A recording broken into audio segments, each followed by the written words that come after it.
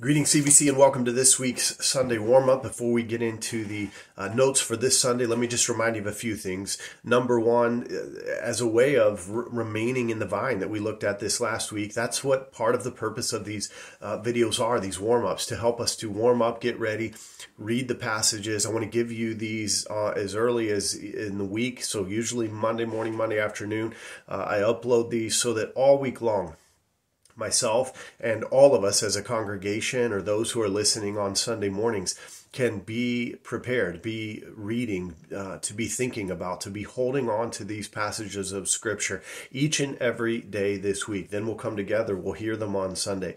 So we won't hear them for the first time. We'll be have read them all week long we hear the sermon, and then maybe sometime that afternoon on Sunday, sometimes Sunday evening before we go to bed, we reread the that chapter, that section of scripture we're looking at, uh, maybe notes that uh, we took on Sunday morning, and we go back over those again.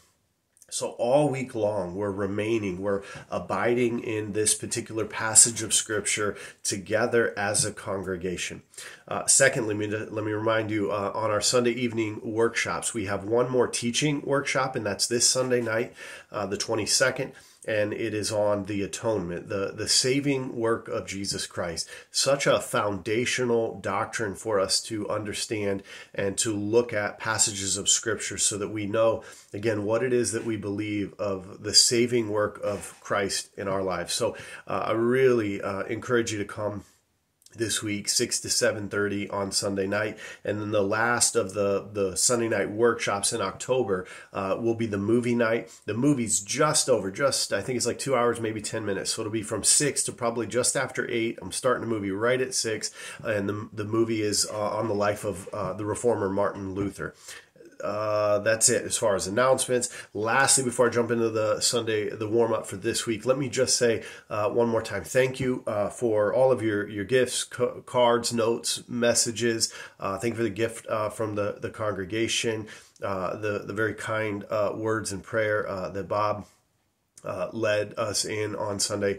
Uh, myself, my family, we appreciate that tremendously. We, we appreciate uh, your support over all of these years. We appreciate the uh, the love and the affirmation uh, given to us all the time from you guys. we're, we're blessed throughout the year, not just in this this one pocket of space of Pastors Appreciation Month, but um, you, you, you you, you always go above and beyond uh, this month to just say uh, to show your appreciation. And it is much appreciated by myself and and my family. So so thank you. All right for this week john chapter 16 John 16 is the passage before us. It's the last of the the teaching portion in in this section. And then we'll finish up next week with John 17 which is Jesus' prayer. So John 16 this week uh, we're going to look at it in, in three sections. Uh, there is the section within this. There's really four sections we could look at, but the one of them's on the Holy Spirit. We already covered that a couple of weeks ago. If you haven't watched that one, go back to October 8th sermon on John 14, and we talked about the role of the Holy Spirit there. So for this week, uh, certainly read it again in John 16, but we won't be covering that part in the sermon because we already have. So we're going to look at this uh, chapter in three kind of headings and sections. Uh, verses 1 to 4, talking about remembering the words of Christ. And alongside those verses, take a look at Hebrews chapter 2, verse 1. Excuse me. Hebrews chapter 2, verse 1. Hebrews chapter 3, verses 1 to 15, and Hebrews chapter 12, verses 1 to 2. The second section we're going to look at under the heading of Sorrow Will Turn to Joy. And take a look at 1 Kings chapter 2, verses 1 to 4. And then the third and final uh, heading section we will be looking at in John 16 will be alone but never alone.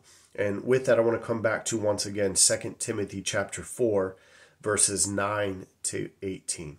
So that's it for this week. Take a look at those passages, read them, uh, write them down, take some notes on them, and get ready for what it is that we will be looking at together on Sunday morning, coming warmed up and, and ready to hear uh, the Word of God together as a congregation. Appreciate your prayers as always. Appreciate your prayers for our time of worship and study of the Word on Sunday morning. And know that you will be in my prayers uh, this week as we prepare to gather together uh, for this Sunday morning. God bless you this week.